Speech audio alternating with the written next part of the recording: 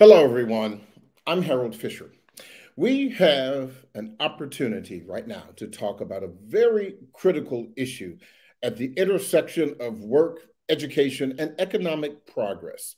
Our guest today is Brandon Busteed, Chief Partnership Officer and Global Head of Learn Work Innovation, Kaplan North America.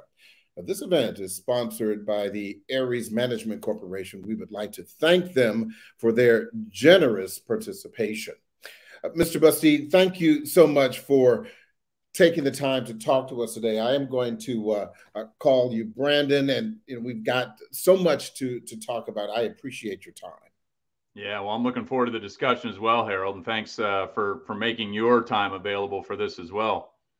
Well, first of all, can you kind of give us the the Cliff Notes version of how Kaplan is connecting work and adult education and your role in making that happen? Yeah, I mean, most people know Kaplan from test prep, right? Almost 85 years ago now, uh, started in Stanley Kaplan's parents' basement when he started tutoring students for entrance into college. And, you know, the interesting part of that story is that what what drove Stanley's purpose and mission throughout his life was his own uh, denied career opportunity. You know, he ended up uh, graduating number two in his class uh, from one of the CUNY institutions, applied to medical school multiple places. By all respects, should have gotten into every single one of them given his academic credentials. But because of Jewish quotas in medical schools at the time, he was denied entrance. And so, you know, his ultimate dream was to become a doctor. That door got shut. And he ended up dedicating his life to helping other people achieve their career goals. And, that, and that's a really important phrase because people think about Kaplan, they think about, oh, you know, preparation for college or preparation for graduate school. You know, those have always been important milestones or gateways or doors opened on the path to the ultimate journey for those students, which is to get a good or great job, to have a good or dare I say great career. So, so I would argue, you know, our entire 85 year history, we've been part of helping people achieve these ultimate career milestones. Now, more recently, you know, we've been involved in helping people prepare for professional licensure in all kinds of different fields, whether that's lawyers who have to pass the bar exam or nurses uh, for NCLEX, et cetera. We do this across real estate, across cybersecurity. I mean, there's a whole bunch of different examples, financial services designations that people need to achieve as a means to getting a better job and earning more money. Uh, and you know, give you an example of some of the things that we've we've started working on the last year. Kaplan's now doing all of the uh, career advising for Amazon frontline employees who are eligible for their career choice education benefits program. So it's just a great example of where you know the history of our organization has really been in helping people achieve these goals when the stakes are quite frankly pretty high, right? You either pass one of these exams or you don't um, you know, you either progress into a new job or you don't. They're pretty blunt metrics that measure uh, outcome. But we're super excited about some of the new examples of that work where, um, you know, it, it's interesting, like it, the advising work we're doing, it, it's more relevant than ever. And fundamentally, it's it's human to human advising. That's a really, really full basket. I, am I'm impressed by that because I, I was not aware of just the variety of offerings that Kaplan uh, is now participating in. I, I want to talk a little bit about adult education because, as we know, uh, many people can't just stop working and return to school. They have financial obligations, they have families to support.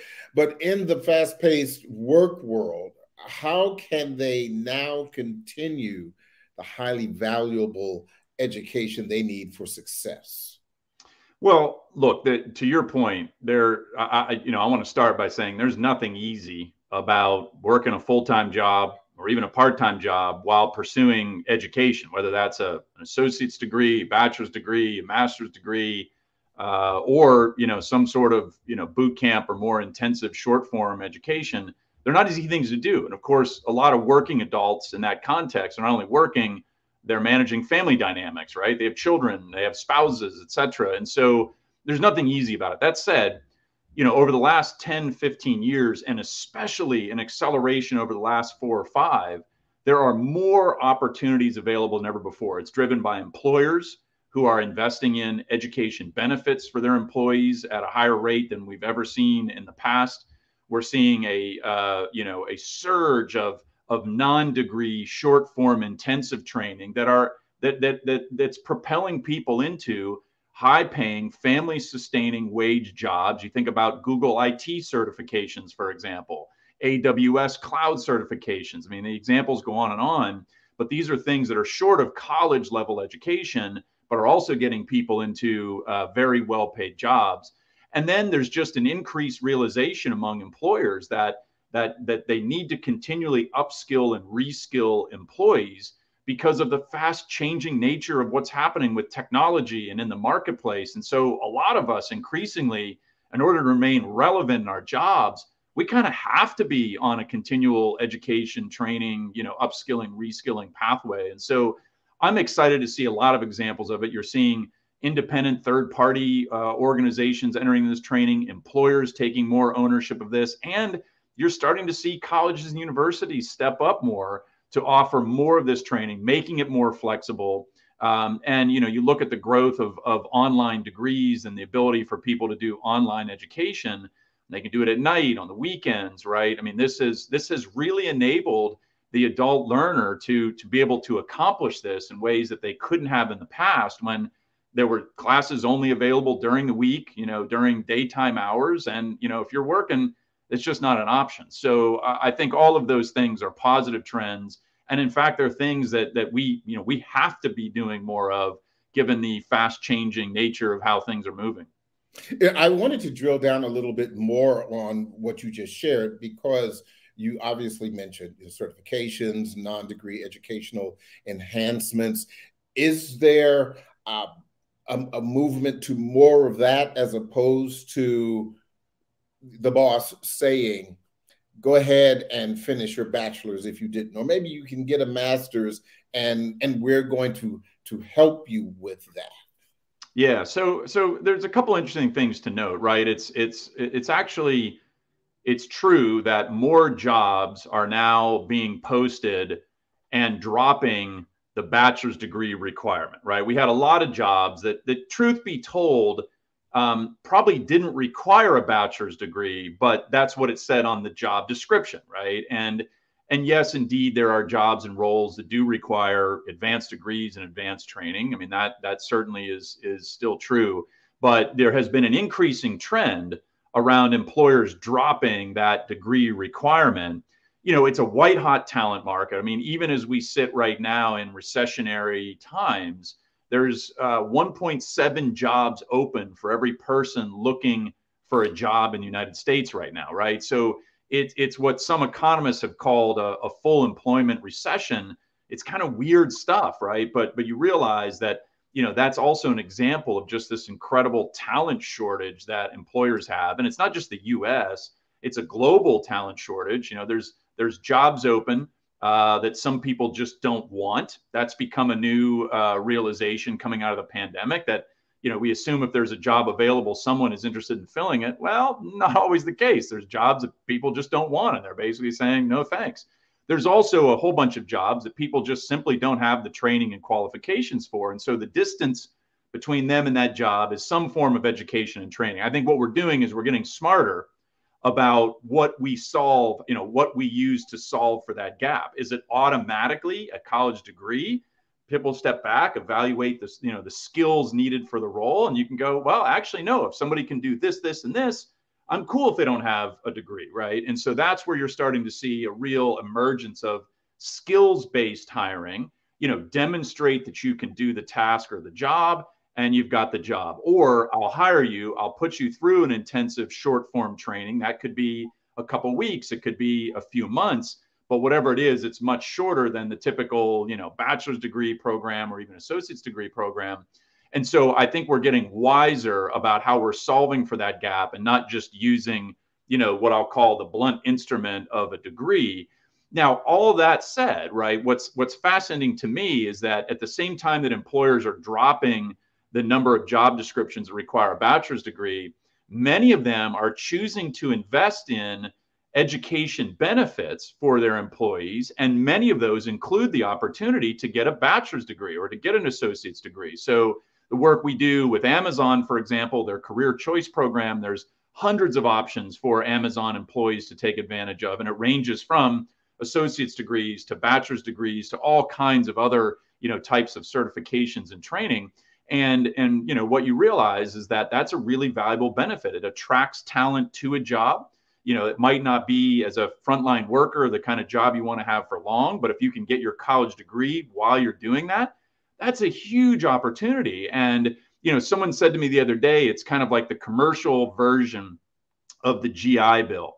And I'd never thought about it that way but but in many ways this movement of employers willing to invest in education for their employees, it's not just about upskilling in, their existing role. It's very much about how do I recruit better talent here, right? How do I help that talent, even in many cases, move on to a better job elsewhere? If I do that, you know, I still accomplish the goal of filling a role that was critical to fill, and I help, you know, support somebody's career development along the way. And guess what that does for my brand? That's a pretty that's a pretty good thing, right? Somebody leaves and says, "Yeah, well, you know, I left Amazon, but they helped me get my college degree. So, uh, so it's really interesting that at the same time they're they're de-emphasizing bachelor degree requirements in hiring. Uh, many of them are also emphasizing the opportunity to hey, come here and you can get your degree along the way. You know, enhancing education is extremely important, particularly for adult workers. And you, I think you kind of touched on this, but but what about enhancing the skill set. I mean, the book knowledge yeah. certainly very important. Um, the degree important. Some say, as you suggested, maybe not as much. But the reality is, is once you get the education, you still have to be able to come back and do the job. And when I say come back from you know, from that online class or from that week seminar, you still have to have an enhanced skill set. How is that done? What is the role of employers in enhancing the skill set? Yeah, well, look, it, you know that's very much part of it. You know, I mentioned there's there's an emphasis on skills based hiring, and and you know, so they're you know in the in the process, it's not just an interview, it's actually an assignment, right? And and you can think about this in simple terms, in you know, in tech related jobs or roles where there's you know very technical tasks that can be done. You know, part of the interview process is you actually ask somebody to perform one of those tasks. You're going to hire a software developer. You want to actually see that they can, you know, develop in in that particular language, and so they can give them a project to assign. You know, and so there there has definitely been a proliferation of skills based assessments as part of the hiring process, and that's where uh, short form education and training can be very effective. It's being done in all kinds of different modalities, right? Some things can be done entirely online. Some things are being done hybrid, where it's a mix of that and in person. And of course, there's still some training and jobs that are that are fully in person in terms of the either the equipment or the conditions that they need to be in to do that. Uh, but I think that has become a really you know it's been a growing emphasis in terms of how employers are are sorting and identifying and hiring talent and they're realizing that a lot of the talent that's out there just doesn't have that training so that's what's driving their investment in either paying for or partially supporting paying for that training for for people who are coming to the jobs. And in many cases there's hiring contingent upon you know getting this skill or being able to demonstrate this skill. So i get hired first and then you know i have to demonstrate later after a training that the company has paid for that i'm capable of doing that. If i don't get across that finish line obviously it's more of a conditional hire type of situation. So you're seeing uh, all kinds of examples of this across the ecosystem. The good news is it's opening the doors to all kinds of talent that companies haven't traditionally paid much attention to. Um, but it's also, you know, forcing those organizations to think very differently about how they do recruitment, how they do training, right? What kinds of investments they make. And so it's a really exciting time, I think, on all sides for people who are looking for jobs, right? Trying to move up in uh, in a career or switch careers there has never there has never been a better time to make that happen. That doesn't mean it's not also overwhelming. So on the flip side, one of the things that I've been worried about um, is that you know we have so many options that we put in front of people. It's it's actually a little bit tricky to kind of understand. Okay, should I go down that pathway? Should I go down this pathway? If I do this training, does it really get me into a job that I like? So there's examples of what I call failed success. Somebody you know, invests their time and money in training. They complete the program and then they realize, actually, no, that's not what I want to do, right? So that's where advising uh, and some of the wraparound supports really, really uh, start to provide value. And it's a lot of the, you know, the work that we're doing in support of Amazon. We're helping, we're helping those workers identify which career paths really are a best fit for them before they take all that time and effort and energy to head down that path, right? And and and you know, and, and try to get to that end game. So here's the question though. Is there a danger of promoting educational benefits and opportunities for employees that you would like to keep hmm. as a company, but then there's the possibility that giving them the upgraded skill set, the degree, or the certifications, you could very well lose that employee. How can companies balance that with you know retaining the the adult worker? Yeah, look, I, one way I'll answer that is I don't know that employers have a choice on that anymore. I mean, sure, there's always the chance that somebody, you know, and the, and the classic example was always a manager getting their MBA, right? That, was kind of the, the quintessential example of, oh, well, if they get their MBA, they're going to be hireable. They're going to go off get another job. You know, why why should I invest in their MBA? You also ask the question, well, what do I do if I don't? That's somebody that might leave my company a couple years earlier than they would have otherwise because there's another company who's paying for that, right? And so I think right now, you know, th- this is the important thing. One of the one of the top aspects that people now value in their job, either the job they have or or or the jobs they're looking for, is learning, growth, and development. This is the desire of the American workforce. People want to be in jobs where they feel connected to mission and purpose. They want to be in jobs where they're learning and growing and developing. And that doesn't always have to mean getting promoted, getting raises, but that's usually, you know, some of the classic examples of that but that I'm I'm learning, right? That I feel like I'm growing in what I'm doing, and and that's you know that's something that's that's part of the workplace culture and what I do, and so that's where you know this investment in education and training, you know, no doubt it helps attract people to the organization. That's the first problem employers have to solve for. If they're not attracting the talent, they're they're they're out of the game from the very beginning, right? Then to your point, it's about retention, and then it's a thoughtful consideration of retention into what, right? So so take frontline, you know, retail jobs. I mean, sure, it'd be great to retain frontline retail workers as long as possible, right? They end up getting better at the job, et cetera.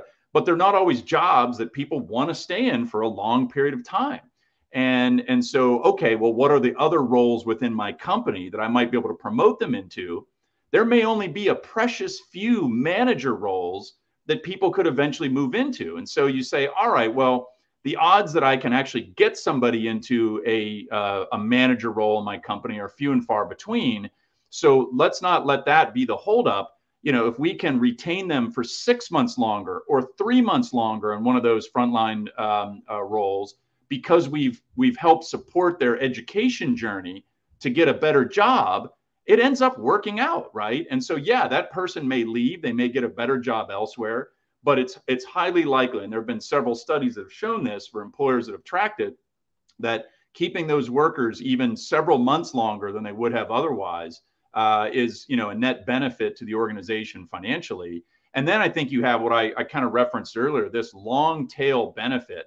You know, it was uh, McDonald's who for a while was was kind of advertising the best first job in America yeah. And, and I love that theme, right? Like, yes, they want to promote people up into better roles at McDonald's, but they they also want to be known as a place where, hey, you can get great work experience, you can get education benefits, and you can propel into other jobs and other places. Well, those are people who may leave McDonald's, but boy, they've got a strong brand, you know, affinity to McDonald's as an employer. In the long run, that's certainly going to be helpful to McDonald's as an organization. Now, as you mentioned, you know, historically employers have not seen continuing the education as an option. I mean, they, they they've seen it as an option, I should say, but yeah. they've not seen it as a requirement. Was there a watershed moment, an aha moment for employers where they said, hey, things are beginning to change over the past 10 years, 20 years, perhaps even 30 years? What was happening? Well, look, I, I, think we're in the middle of seeing and feeling that right now. And there have been a few major drivers of that. You know, one has been for a while now a white hot talent market, right? You know, just uh, so many leaders who are saying, you know, my only limitation to growth is, you know, people to to fill the jobs that I need for that growth. And so I think, you know, employers have have realized, and this has been, you know, for a while now, that that's the case. You know, we sit in, you know, the United States right now where, you know, we don't we don't really have any net population growth to speak of. Uh, you know, immigration has not been a big driver of new talent into the country. We have a population age demographic that's aging out of the workplace with baby boomers. And we're in a trough, a corresponding trough, interestingly enough, of 18 to 24 year olds, where for the next five years, for example, uh, we have fewer 18 year olds coming into you know college age, um, and so you know there's just there's not there's not enough people out there, right? So so I think white hot talent market, some population demographics at play here, the realization that a lot of roles are just changing dramatically because of changing technology and you know other things. So even if you have workers available, they still have to be, you know, trained and educated along the way. Um, and then I think you have major factors like a pandemic happening, right? And it kind of put a lot of people in a situation where they reevaluated what they're doing with their lives, what they're doing with their work. Hey, it's nice to work from home if I'm able to do that. And why do I have to go back to the office? And so, uh, you know, that, so I think there's been a couple of major drivers of that, but we are I really believe we are in the middle of seeing that transformation of it going from what you said, optional that employers invest in this, to a requirement. And the ones who are really doing a world class job on this, you're seeing it in their results, right? They're they are able to fill the roles they're looking to fill. They are retaining people, um, and and you know that is a huge competitive advantage. Is there a benefit for employers? to create better relationships with educational institutions or is it better for those employers to keep to create their own edu- educational opportunities in house yeah so we're seeing both right i mean it's interesting there are and i'm in the middle of a lot of these in my work at kaplan right? Helping universities build partnerships with employers and employers identify education and training and other you know partnerships that, that involve universities right? And w- one thing that's interesting is that both of these parties have have largely not been very good at building these relationships. Now don't get me wrong there, there are you know universities that have always had great capabilities and long-standing employer partnerships and companies that have had this with universities but you know they're fewer and further between in terms of the really great kind of best practice examples you know your average college or university, your average employer, they don't they don't really know how to build these types of relationships. They don't have people who are dedicated, you know, to nurturing those relationships. And so there's still plenty of room for opportunity out there. But you're seeing a mix of stuff, right? Go back to the Google IT certifications that have become wildly popular um, and leading to, you know, in-demand, high-paying jobs. That was all developed by Google, right? Google also has a number of university partnerships but those Google IT certs were developed by Google. And you know, it's an interesting point. And you know, Google when they launched those came out, and in addition to launching those those offerings, they also said, "Hey, we're going to treat the people who get a Google IT cert as equivalent to a college degree in our own hiring process." That was another you know layer to it. And so you know, you're seeing a mix of employers going out and doing it on their own uh, even the ones who are doing some things on their own, they are continuing to build ecosystem partnerships with community colleges, four year colleges and universities. Um, but we're still at the very, very beginning of this. One of the things that's been interesting about education benefits as a movement is that fundamentally what's happening is it's actually one of the examples and one of the few examples of where the cost of college is actually going down. Mm-hmm. Because what's happening with some of these large employers that are bringing universities into the mix of their education benefits program is they're they're essentially negotiating uh, volume discounts on tuition and because they're sending you know hundreds and in some in some cases thousands of employees into these institutions they're able to negotiate with those universities uh, better tuition rates and and ultimately that lowers the cost of college, right? It lowers the cost of college for uh, those individuals participating, and and I think it opens up some really exciting examples of where this goes. So let me let me just give you one of them. There was an article in Inside Higher Education, one of the industry higher ed trade pubs, about three weeks ago, about the growing number of traditional age students who are enrolling in fully online universities, right? So for fully online degrees and back to where we started this conversation, right? We've we've mostly thought of online degrees as for adult learners because of course it's flexible, it's in many cases more affordable. In some cases it's the only option that they have to get a college degree because they can't they can't go to the ground university option or there isn't one close or whatever it is, right? So we've thought about online education as for these adult, you know, working learners. And what's interesting is the fastest growing demographic enrolling in these online universities are 18 to 24 year olds. So Howard, I think that is a huge point, right? Because you know you've got you've got young people who are saying, well, you know, there's traditional college as an option, there's residential experience, et cetera. I'm I'm going to go a different route here, and they're going that different route for a number of reasons. It's flexible, it's affordable, they can live at home and save some money while they're doing it, uh, they might be able to work while they're going to college, right? So they can kind of have their cake and eat it too from that perspective. So that's a really interesting trend to watch. I think you're going to see much more of that where you will still have families and students that value the traditional residential college experience, but more and more the numbers are going, you know, uh, they're, they're declining in terms of interest in that traditional college experience and they're on the rise pretty dramatically and the percentage of 18 to 24 year olds are saying, you know what, I'm going to take this online degree option. I'm going to work while I'm doing it, and uh, and I think that is going to be a trend that's going to be a noticeable difference in how people do college in America. I do want to talk a little bit more about online education in a bit, but I, I want to go back to something uh, uh, when we talk about the partnerships. And I want to throw something out to you that that I experienced recently, and you can tell me whether or not I'm I'm on track here. I was at an event at a, a DC area community college, and there was a financial institution, an invest a large investment firm that had an office at the community college, and they had a staff member from that financial institution permanently in place to teach, for example, uh, financial literacy and management for the students of all ages, but also for the college employees. Is that the kind of partnership that you're talking about when you're when you're getting an education outside of the job, but it, it's right there and, and and available. I thought that was I thought it was innovative.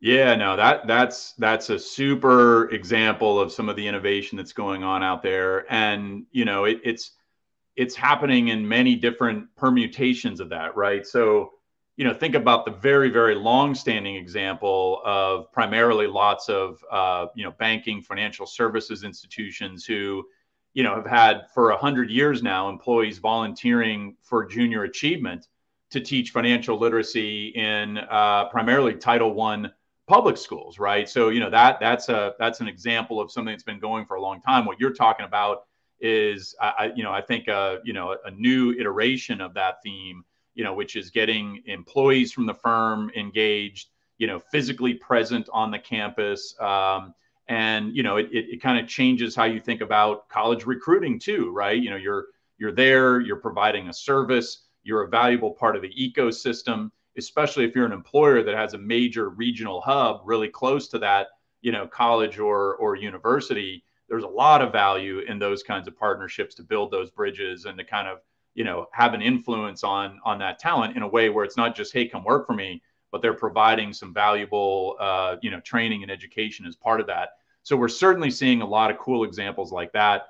Um, increasingly seeing examples of of employers who are thinking about very non-traditional recruiting pathways. And you know for the most part a lot of big name employers didn't really actively recruit at community colleges. You're seeing more of an effort there right? And um, announcements from some of the elite firms that used to only do on campus interviews at, say, an Ivy League institution, who have now switched to doing video based interviews because they realize they can open up to talent uh, at, at hundreds of schools as opposed to just you know the the, the trips they made uh, you know in person to you know a handful of Ivy League institutions. So there's a lot of changes in how people are thinking about recruitment, how they're thinking about talent development, and ultimately, I think it's an example of this you know value forward proposition that I see happening a lot. You know, I'm gonna I'm gonna give you something valuable. I'm gonna teach you something valuable, and that's a way to attract you to this organization before you've even thought about whether I you know might might be interested in working there.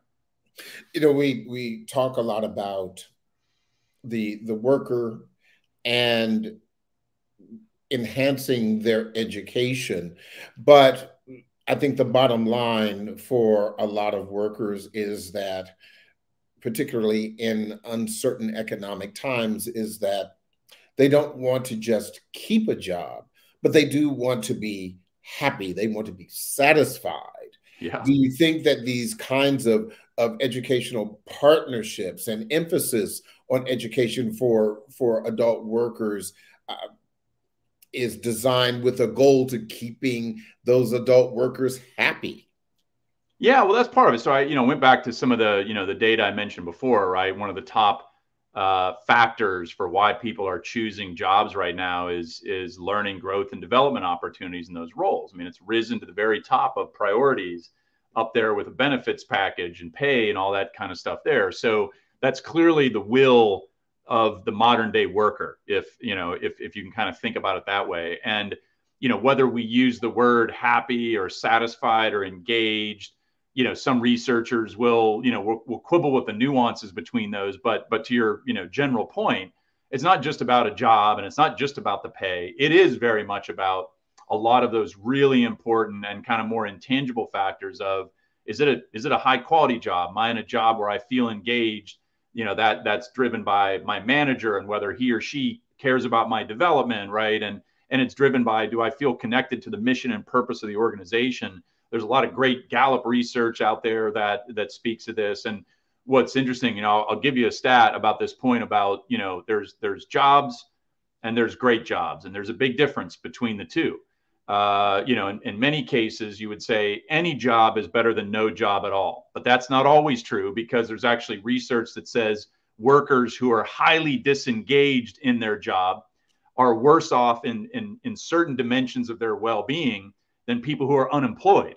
And that, you know, that's hard to imagine, but like a really bad job and somebody who's disgruntled at, at work and in their job, that can be a really unhealthy thing. So it's not always true that any job is better than no job at all uh, but there's a huge difference between a job and a great job. And, and, and Gallup has, has quantified this from their World Poll research. And uh, Gallup's new CEO, Jon Clifton, just came out with a book called Blind Spot that I encourage folks to read. And in it, you know, he quantifies how many people in the world want a good job but don't have one. And good job is defined by, you know, family sustaining wages. It's defined by you know they're engaged in their work right? So there's multiple dimensions to it. But but here's the global data right? There are 3.3 billion people on the planet who want a great job and don't have one. Ultimately there are 300 million people who have a great job across the globe so think about that for a second right? Like the, the, i think the great challenge of leaders for the next several decades to come is going to be not simply thinking about providing you know employment. It's going to be how do i create as many jobs as possible and create an environment where people are in great jobs where they're really engaged in their work? That is ultimately going to be, be the measure. Right now we measure the percentage of people who are unemployed. Why aren't we measuring the percentage of people who have great jobs you can measure this kind of stuff we ought to be measuring it at a global level, a country level, but certainly can do it at an organizational level. But there's our there's our global track record. 3.3 billion people want a great job. There's only 300 million who have one. We're talking to Brandon Busteed. He is the Chief Partnership Officer and Global Head of Learn Work Innovation at Kaplan North America. We're discussing the future of adult education and its relationship to job seekers. Now, Brandon, as you know, during the height of the pandemic, colleges and universities were forced to, to shut down and to pivot to online learning. And in some cases, they were caught flat footed. Can it be argued that adult learning institutions were already ahead of the curve when it comes to online learning?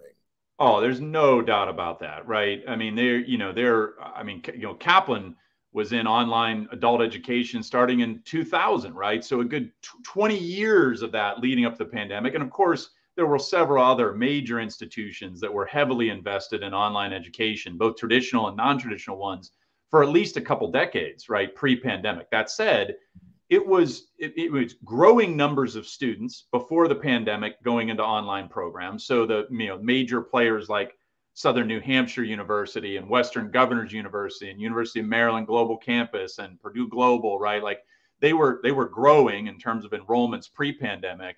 Um, and and now you know a really interesting thing has happened that those those institutions are actually the largest know, specifically Southern New Hampshire and Western Governors University they're the largest institutions in the United States both of them are less than 25 years old there will be by the end of next year based on their trajectory there will be more people who are graduates of Western Governors University than the Ohio State University which has been around for 150 plus years, right?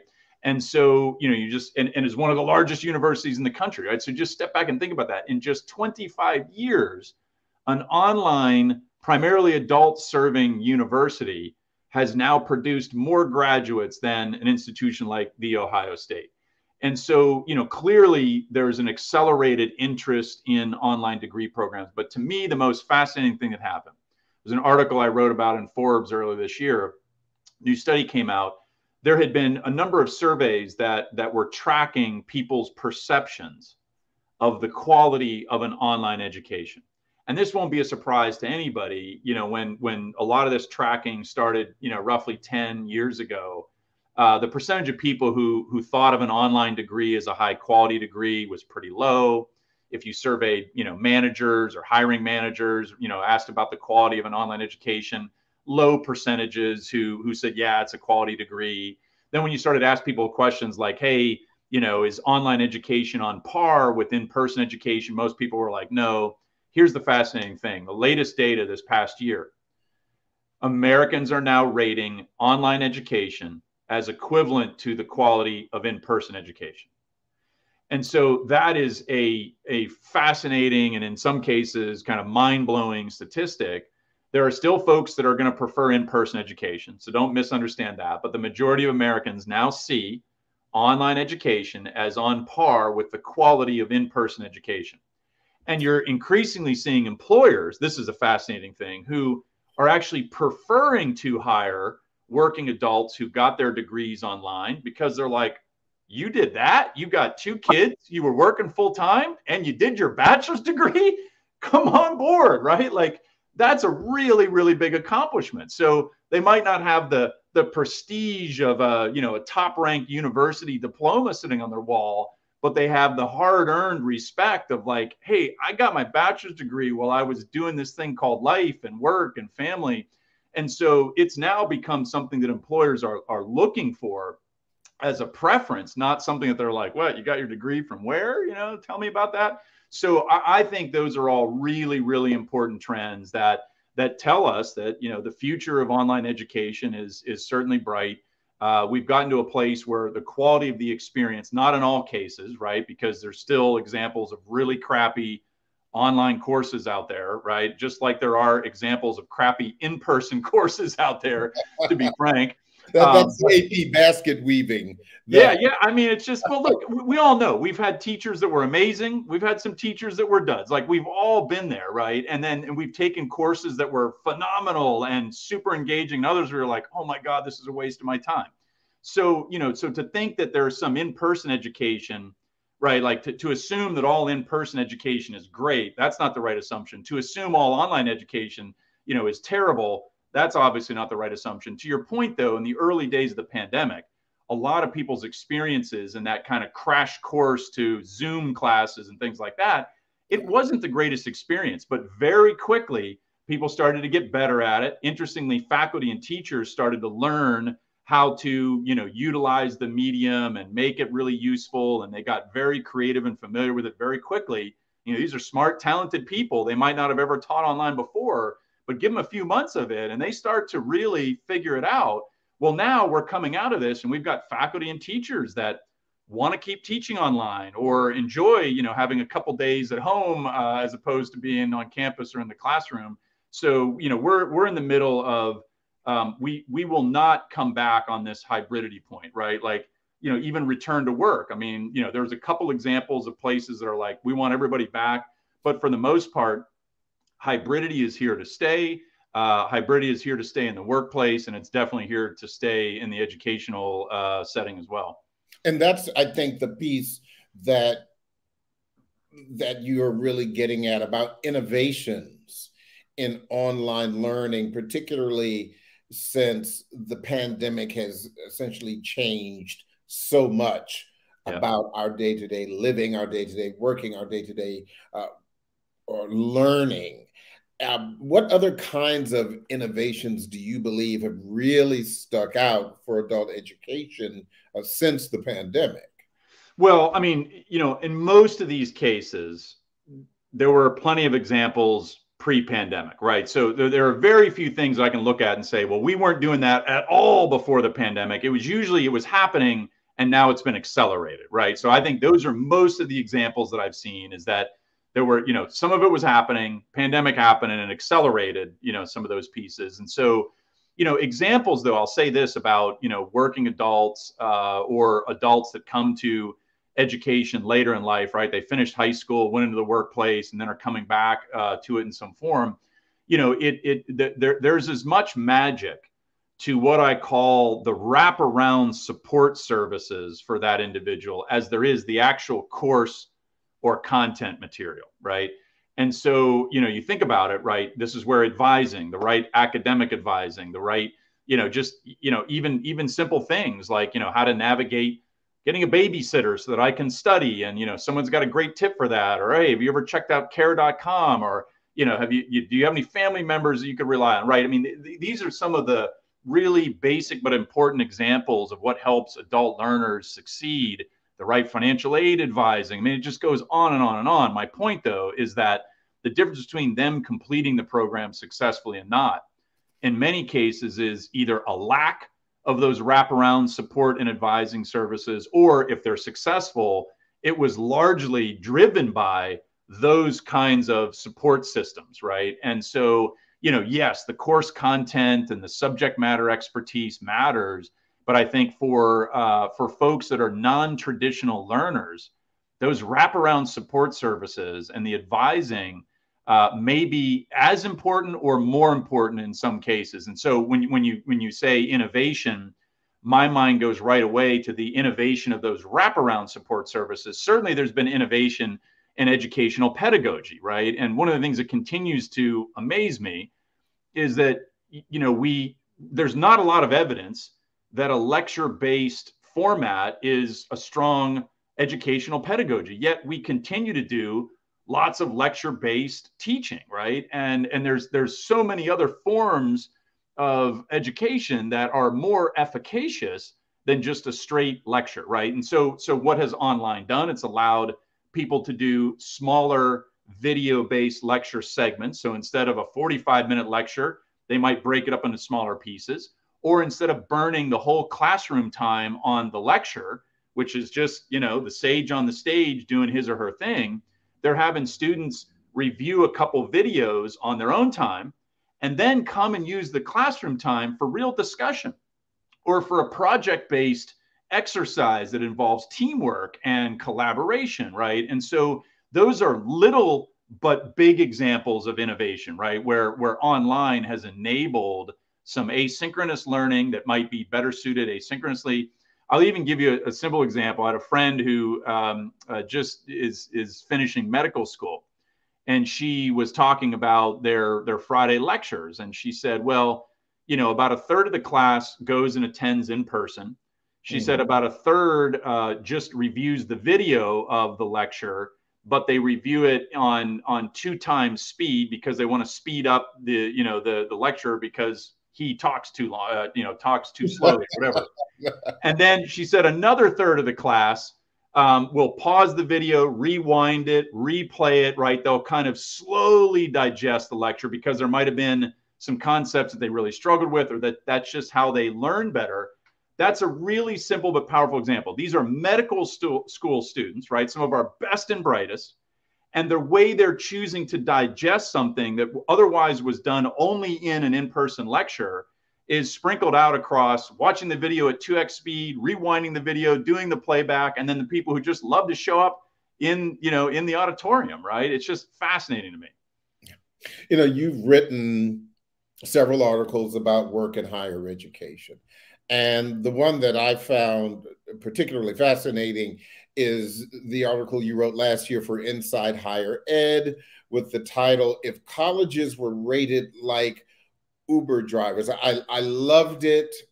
I would recommend anyone uh, who is working in this space or interested in this issue to to look it up. Um, you really turned the issue of expectations on its head. Talk to us about that. Well, look, I, I mean, you know, I I, I want to.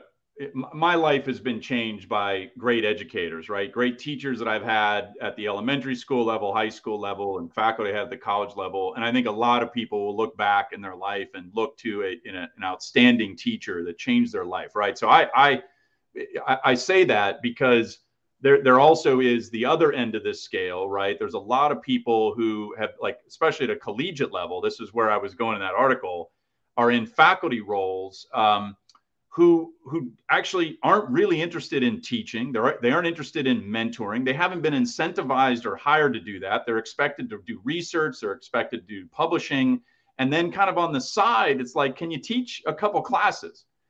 And and so you know we we we, we we've created a culture on most college campuses, and actually, ironically, especially at the major research universities where we do put so much emphasis on world-class subject matter expertise, publication, you know, research, uh, research funding being brought into the university, that if we're honest, we really haven't invested carefully in high quality teaching, right? Or emphasizing and rewarding high quality teaching.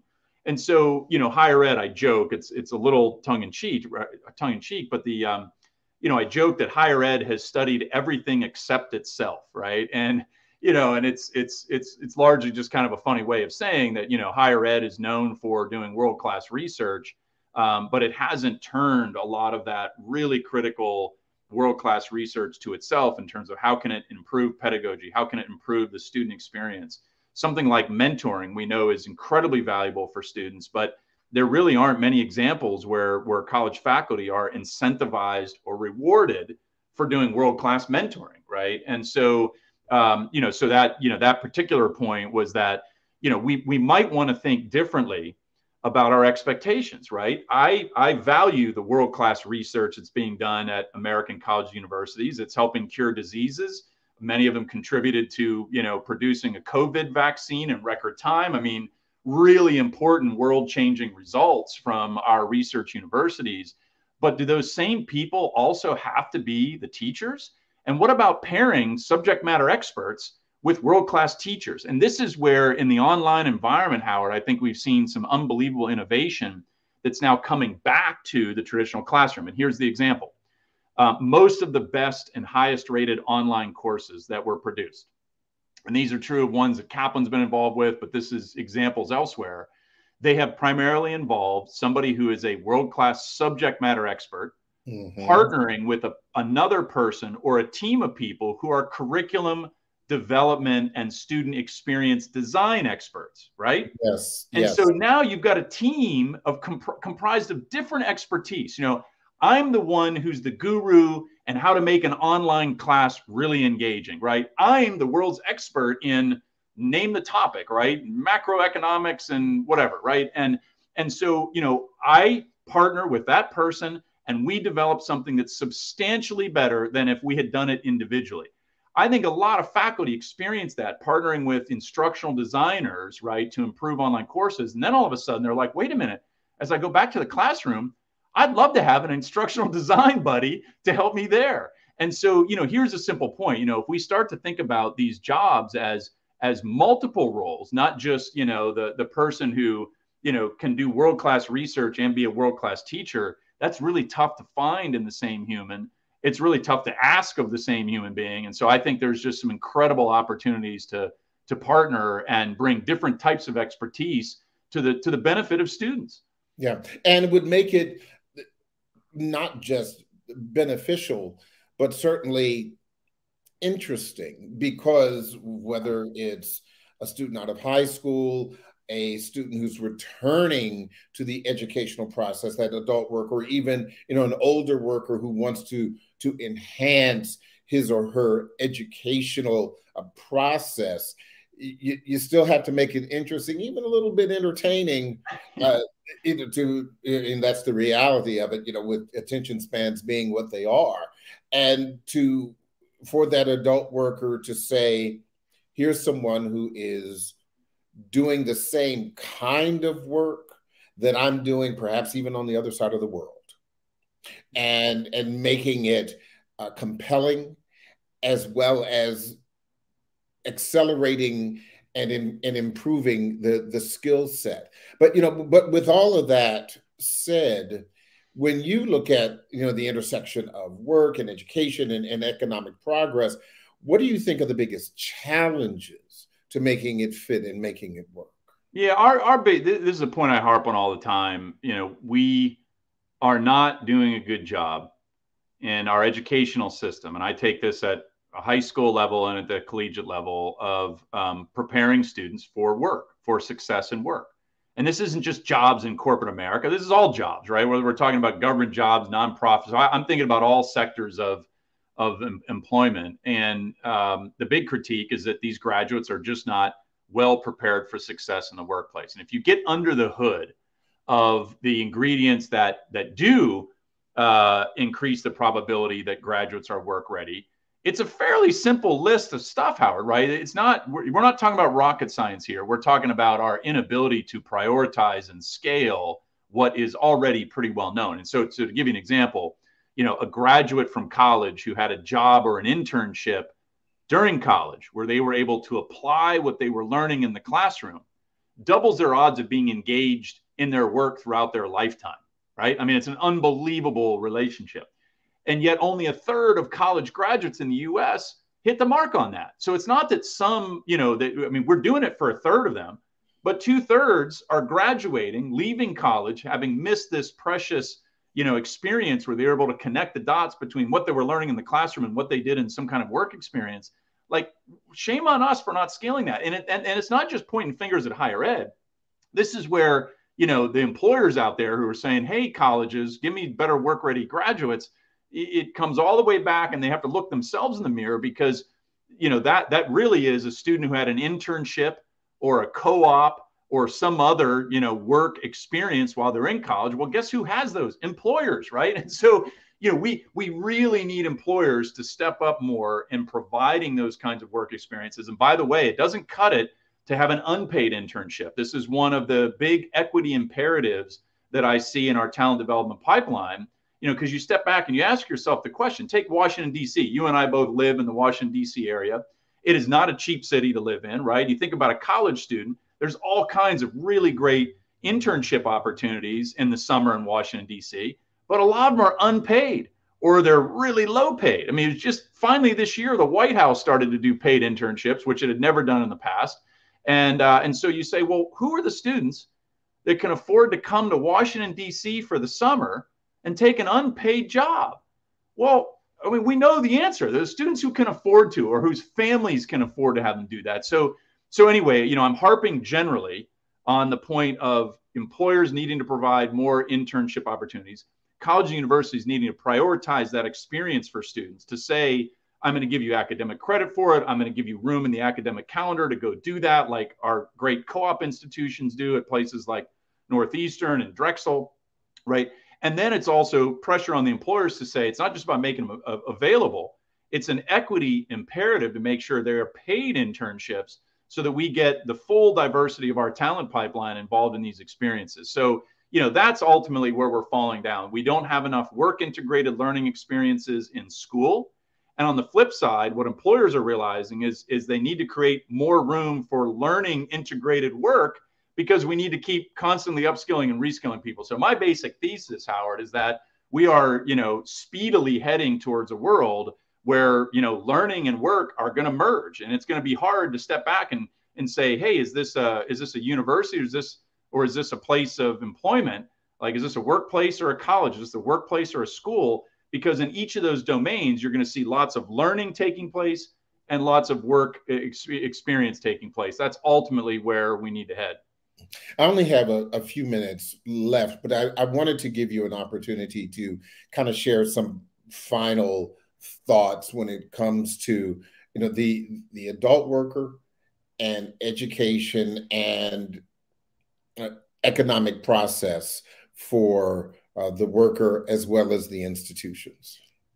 Well, you know, I, th- I think I summarized. My wish is is that we get to a place where uh, I'll say it a different way. I, I, mentioned a merger of learning and work, right? Where there's more work integrated learning in schools and there's more learning integration into workplaces. But I think fundamentally, one of the things we've done as a society over the last several decades is we have devalued the learning that can come from work, right? Mm-hmm. So the learning value of work. And, and so I'll give the example of very well intentioned parents who will say to their kids, if they can afford not to work, your job is to get good grades, right? So I don't want right. you, I don't want you to have a job because I've your job that. I've heard that. Yeah. Is to get good grades. Okay. Now look, I don't want to um, discourage students from getting good grades. Okay. But I'm not going to put all of the importance on grades alone. I want them to work. I want them to have some kind of work experience. And I want to make sure they understand the learning value of that work, right? Not just the paycheck that comes from it, right? I, I was a cashier at Ponderosa Steakhouse it wasn't hard. It wasn't hard to learn the cash register. Once you learned that, it was a kind of boring task. But if you step back and said, well, what if I observed the manager of this Ponderosa, right? Does he or she motivate the employees? If so, what kind of employees are more or less motivated by that person's leadership style? Have I observed any ethical dilemmas that have cropped up in the workplace, like the chef drinking all the chocolate milk in the fridge and not paying for it, right? Like you know how does a how does somebody disarm a disgruntled customer right? How do they handle that situation? My point is every job we can learn things from and every day in a job we can learn things from. I think we've lost track of the learning value of work and it's resulted in today's 18 to 24 year olds being the least working generation in us history. We can't afford to have that happen.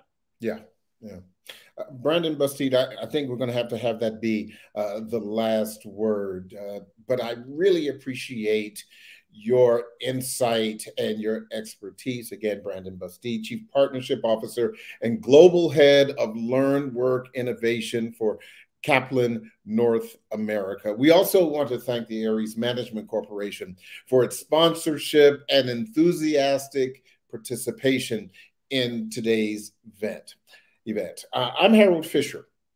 Thank you so much for your interest.